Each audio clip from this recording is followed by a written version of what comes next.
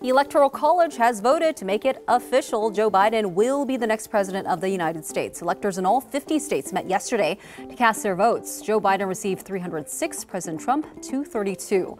Now, they will be tallied in Congress next month, presided over by outgoing Vice President Mike Pence.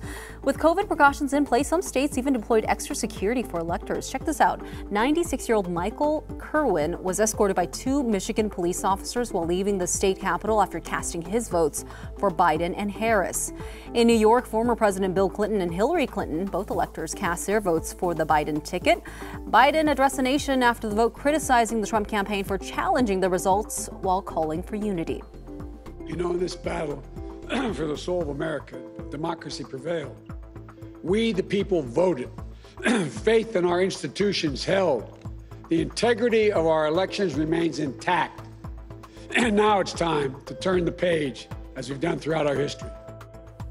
We're getting thousands of comments on this story on our KARE 11 Facebook page. Some people saying they're ready for a Biden presidency to bring the country together, others still expressing their support for Trump. It's also worth mentioning President Trump announced on Twitter yesterday that Attorney General Bill Barr is resigning. Now, earlier this month, uh, Barr told the Associated Press the Justice Department found no evidence of widespread spread voter fraud in the 2020 election.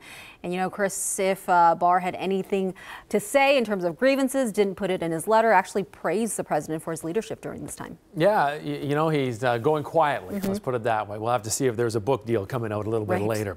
Right now, let's get